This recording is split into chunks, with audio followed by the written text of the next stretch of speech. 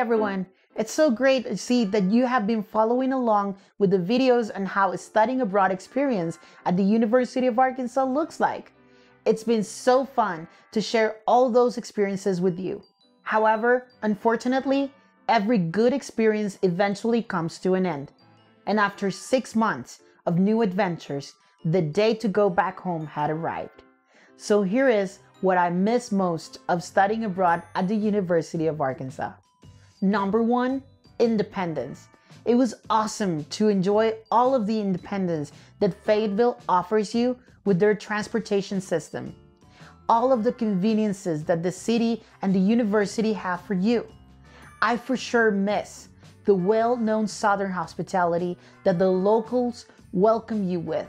I always felt accepted and welcomed in their community. Second, I will miss the Razorbacks. I was able to attend many sports events, which is a great part of the University of Arkansas culture.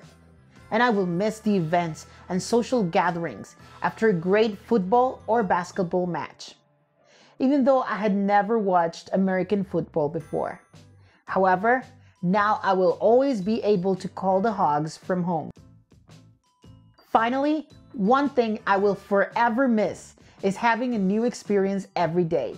You see, when you study abroad, you will get used to new adventures and things to do every day. To the point that once you're back home, you will probably have a hard time getting used to your old routines and habits. But don't worry, all you have learned from your experiences abroad will become an essential part of you, and you will want to share them with everyone back home.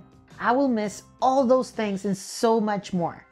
Thank you for staying with me while I told you a little bit about my unforgettable time at the University of Arkansas.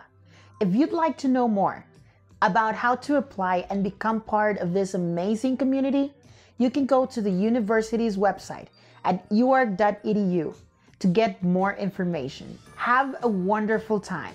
See ya!